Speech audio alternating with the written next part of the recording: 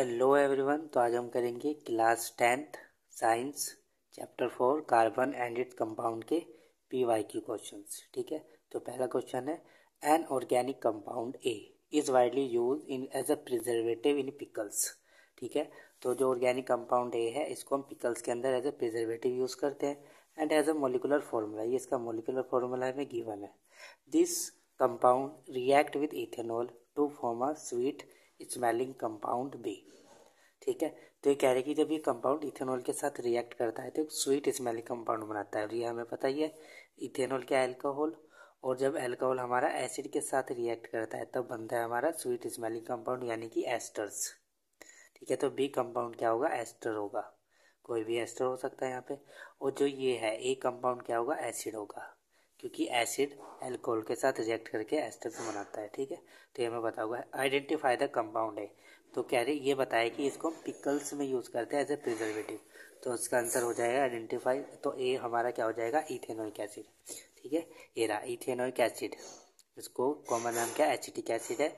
और इसको हम is widely used as a preservative in pickles ठीक है? तो इसको हम यूज़ करते हैं प्रिजर्वेटिव इन पिकल्स में। तो क्या हो गया? इथेनोइक एसिड ठीक है? और जब इथेनोइक एसिड हमारा तो ए क्या हो गया हमारा? Ethanoic acid.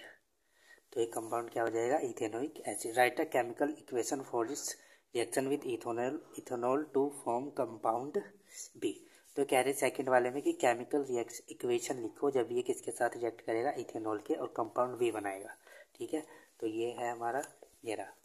इथेनोइक एसिड, और ये इथेनॉल के साथ रिएक्ट करेगा। और क्या बनाएगा? एस्टर बनाएगा। तो ये इसका क्या है? केमिकल इक्वेशन है। ठीक है, ये क्या है? केमिकल इक्वेशन तो बी वाले पार्ट में आपको ये लिखनी है केमिकल इक्वेशन तो ये क्या है? पार्ट थ्री वाले में क्या है? Which gas is produce when compound A react with washing soda write the chemical equation तो कह रहे कौन सी गैस इसमें से निकलेगी? और साथ में इसकी केमिकल इक्वेशन भी लिखो। ठीक है, जब भी किसके साथ रिएक्ट करेगा? वॉशिंग सोडा के साथ रिएक्ट करेगा। तो इसका हो जाएगा आपका आंसर ये रहा। ये हमारा है वॉशिंग सोडा। ठीक है, जब भी कार्बोनेट कार्बोनेट या हाइड्रोजन कार्बोनेट कंपाउंड के साथ रिएक्शन करता है तो क्या बनता है? एक तो बनता है हमारा सोडियम एसिटेट। ये क्या है? सोडियम एसिटेट बनेगा, वाटर मॉलिक्यूल बनेगा और सी टू गैस बनेगी। तो ये पूछे कौन सी गैस निकलेगी? तो कौन सी गैस निकलेगी? सी टू गैस इसमें से निकलती है। कब जब हमारा इथेनोइक एसिड किसी हाइड्रोजन कार्बोनेट या कार्बोनेट के साथ रिएक्ट करते हैं तो वॉशिंग वॉशिंग सोडा भी लिख के दे देंगे, कार्बोनेट और हाइड्रोजन कार्बोनेट भी लिख के दे सकते हैं, ठीक है? तो पहला क्वेश्चन हो गया। अब कह रहे draw the structure of simplest ketone simplest ketone यानी कि सबसे पहला जो कीटोन हो जाएगा तो कीटोन बनाने के लिए सबसे पहले कितने कार्बन चाहिए? वन टू और थ्री मतलब मिनिमम आपके पास तीन कार्बन तो होने चाहिए, जब भी आप क्या बना सकते हो कीटोन बना सकते हो, ठीक है? तो इसका आपको स्ट्रक्चर बनाना है। तो ये बन गया है हमारा स्ट्रक्चर हम्म, ठीक है. ये क्या बन गया है? स्ट्रक्चर कीटोन का. और कीटोन को हम बोलते हैं प्रोपेनोन इसे प्रोपेनोन भी बोलते हैं और एसीटोन इसका नाम क्या हो जाएगा? प्रोपेनोन और एसीटोन ठीक है? एसीटोन भी इसको हम बोलते हैं. तो क्वेश्चन है अब हमारा question number three what happen when a small piece of sodium is dropped into ethanol तो कह रहे, क्या होगा अगर हम जब इथेनॉल में क्या मिलाएँगे? सोडियम मिलाएँगे तो क्या होगा? ठीक है? क्या तो ये आपको लेगा ये रहा एन में पेज नंबर सेवेंटी टू पे। ठीक है ये रहा। क्या रिएक्शन विथ सोडियम जब इथेनॉल किसके साथ रिएक्ट करेगा? सोडियम के साथ। तो क्या बनाएगा? सोडियम इथोक्साइड और साथ में लिख लेगी हाइड्रोजन गैस तो ये भी आ सकता है which gas is produce when ethanol react with sodium ठीक है? तो ये आ सकता है। Alcohol react with sodium leading to the evolution of hydrogen ठीक है? यहाँ से भी आपको क्वेश्चन बन सकता है। तो क्वेश्चन नंबर फोर है write the chemical name and write the chemical name and formula of vinegar तो कह रहे इसका केमिकल नेम लिखो और इसका फॉर्मूला लिखो विनेगर का। क्या होता है? तो विनेगर भी इथेनोइक एसिड ही होता है। ठीक है? तो ये होता है हमारे vinegar. Five to eight percent solution of acetic acid in water is called vinegar तो ये क्या है? इथेनोइक और एसिटिक एसिड को ही हम क्या बोलते हैं? विनेगर भी बोलते हैं। क्वेश्चन नंबर आपका है five why are detergent preferred over soap for washing cloth in hard water explain तो कह रहे कि हम डिटर्जेंट को क्यों प्रीफर करते हैं? जब हम वॉशिंग करते हैं क्लॉथ की हार्ड वाटर के अंदर। तो इसका आंसर भी एन में एन में ही आपको सब मिलेंगे। ठीक है? तो यहाँ पे लिखा है तेरा। Reaction of soap with calcium and magnesium salt which cause the hardness of water तो जब सोप किसके साथ रिएक्ट करेगी? मैग्नीशियम और कैल्शियम साल्ट के साथ रिएक्ट करेगा। तो रिएक्शन होगी तो ये क्या होगा? Which cause the hardness of water जो क्या करते हैं? वाटर की हार्डनेस को बढ़ाते हैं। मतलब जो हमारा हार्ड ऑफ़ वाटर है उसके अंदर क्या है? कैल्शियम और मैग्नीशियम के सोल्ट है। तो सोप क्या करेगी? पहले उनको उनको सॉफ्ट बनाने का काम करने लगेगी। मतलब वो क्लीनिंग का एक्शन बाद में करेंगे, पहले इसको हटाने का काम करेंगे। Hence you need to use large amount of soap तो इसलिए हमें क्या चाहिए? ज़्यादा सोप चाहिए। This problem is overcome by using another class of compound call detergent तो इस प्रॉब्लम को ओवरकम करने के लिए हमने किसको यूज़ किया? डिटर्जेंट को। Detergent are generally sodium salt of sulphonic acid और ammonium salt which chloride bromide and बहुत लॉन्ग हाइड्रोकार्बन थे ठीक है? तो आपको बस इसमें क्या लिखना है? इसमें आपको आंसर में लिखना है detergent work well even with hard water because their calcium and magnesium salt are soluble in water and they do not form scum और ये वाटर के साथ स्कम नहीं बनाएगा, लेकिन सोप क्या होती है? स्कम बना लेती है, ठीक है? उसमें हमारी सोप ज़्यादा वेस्ट हो जाती है, ये स्कम नहीं बनाता है डायरेक्टली क्लीनिंग एक्शन करता है। What happen when ethyl alcohol and acetic acid react with each other in the presence of concentric H2SO4 तो ये फिर क्वेश्चन वही दोबारा आ गया, जब इथेनॉल हमारा इथेनोइक एसिड के साथ रिएक्ट करता है तो क्या बनाएगा? ये वही बनाएगा स्वीट स्मेलिंग एस्टर तो यही लिखा जाएगा, इसमें क्या होगा? तो आपको यही लिखना है, और इसकी रिएक्शन भी आपको देनी है, ठीक है? जो दो तीन बार में दिखा चुका हूँ बुक्स में और यहाँ पे क्वेश्चन ये भी आ जाता है कि ये किस तरह से H two S O four work क्या करता है यहाँ पे, ठीक है? तो ये क्या है, एक डिहाइड्रेटिंग एजेंट है मतलब इसमें से वाटर मॉलिक्यूल को बाहर निकालने का काम करेगा ये। तो ये क्या है carbon does not form ionic compound why तो ये आपको एक्सप्लेन करना है कि कार्बन आयनिक कंपाउंड क्यों नहीं बनाता है, ठीक है? तो इसका आंसर देखते हैं रहा तो क्या आंसर है इसका? तो कार्बन की जो आउटर मोस्ट सेल होती है, उसमें फोर इलेक्ट्रॉन्स होते हैं। तो it would gain four electron forming C four negative anion अगर ये चार इलेक्ट्रॉन किसी से ले लेगा तो इसका क्या बन जाएगा? C four negative ion but it will be difficult लेकिन ये भी क्या है, बहुत ही ज़्यादा डिफ़िकल्ट है, क्योंकि सिक्स प्रोटोन वाली जो न्यूक्लियस है, वो टेन न्यूट्रॉन को होल्ड नहीं रख सकती, ठीक है? उनको पकड़ के नहीं रख सकती। That is four extra electron ठीक है तो ये भी काम नहीं कर सकता है मतलब ये एनाइन भी। नहीं बना सकता।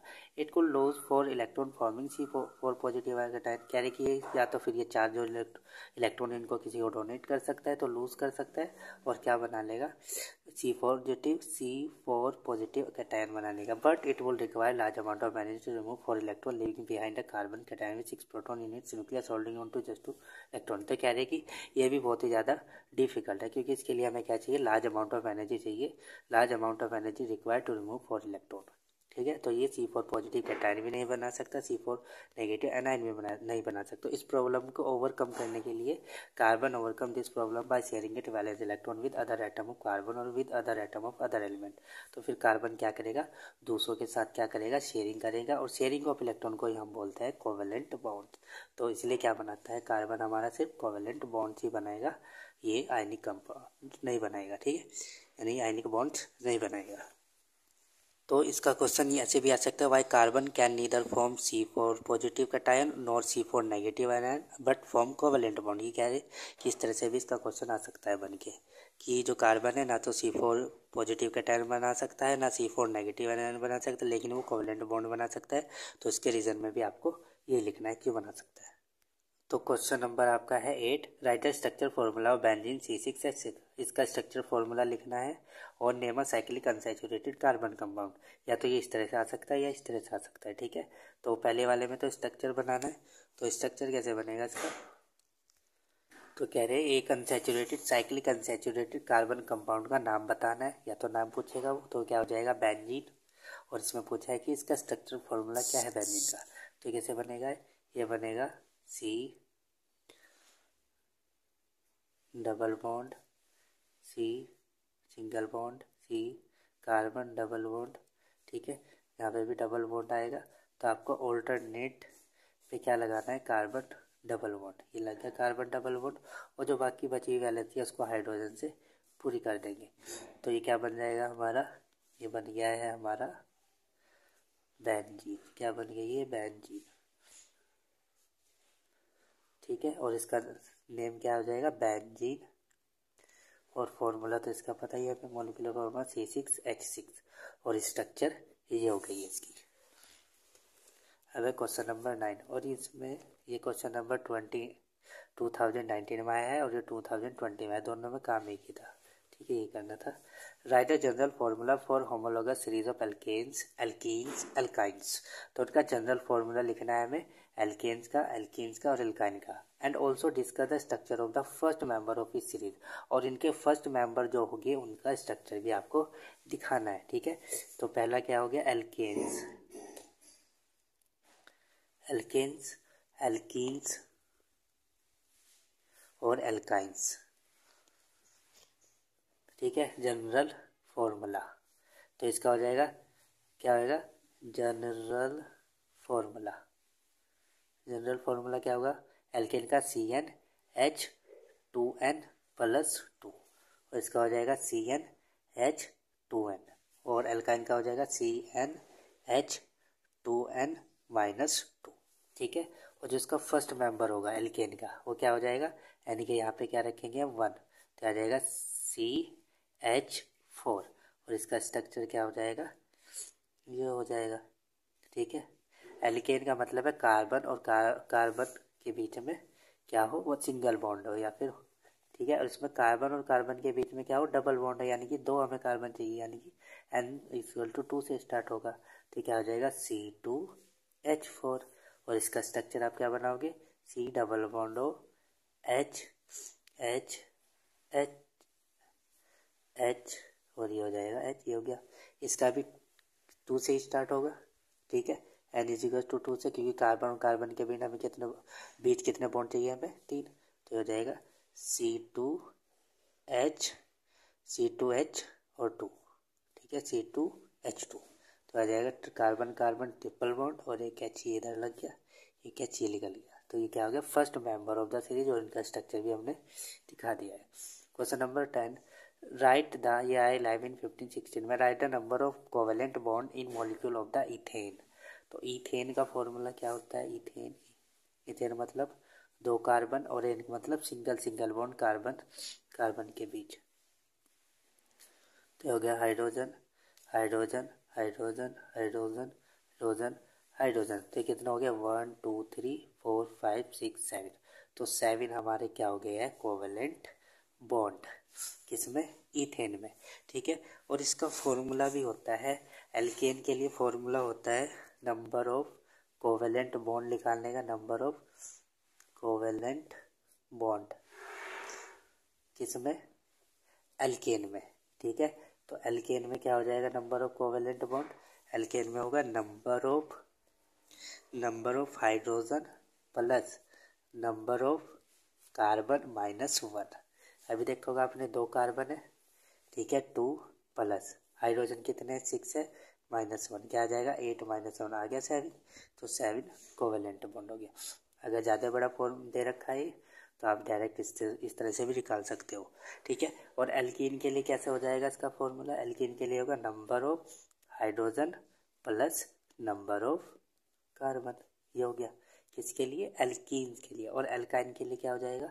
एल्काइन के लिए हो जाएगा number of hydrogen plus number of carbon plus one, ठीक है?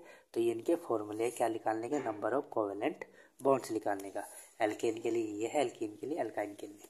सो आई होप आप सबको क्वेश्चन समझ में आए होंगे और ये प्रीवियस ईयर में आए हैं मोस्ट इंपॉर्टेंट है। So thank you for watching this video अगर अच्छा लग रहा है तो प्लीज़ वीडियो को लाइक कर दो चैनल को सब्सक्राइब कर दो।